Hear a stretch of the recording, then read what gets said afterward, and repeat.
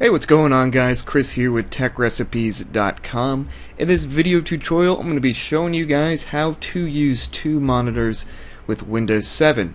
Now this is assuming that you have your second monitor plugged in, so you have two monitors total plugged in and you at least have video going on one. I'm not going to go in depth on how to plug in your second monitor, but let's say you have it plugged in and you have it turned on. What would you do next? Let's pull down the start menu here and you're going to type in display and click on display.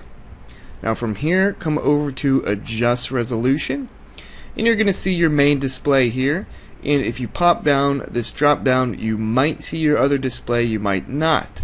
Now if you don't but you see this number 2 you can click on that 2 and click identify and it will identify it for you or detect either one of the two they kind of do the same thing. Now, so you have both of them hooked up there. Right here on multimedia displays, let's pop this down and go over to extend these displays. And we're going to click apply. And it'll say, do you want to keep these display settings? Click yes. And now you guys can't see it, but my second monitor is on.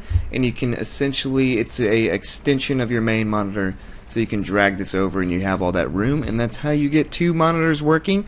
Now of course you can choose to show the desktop on only your first monitor which will be the one with the one or you can show it on your second monitor which will be the one with the two or you can duplicate the displays but I find having them extended is the best way as it's like one big desktop. Alright thanks for watching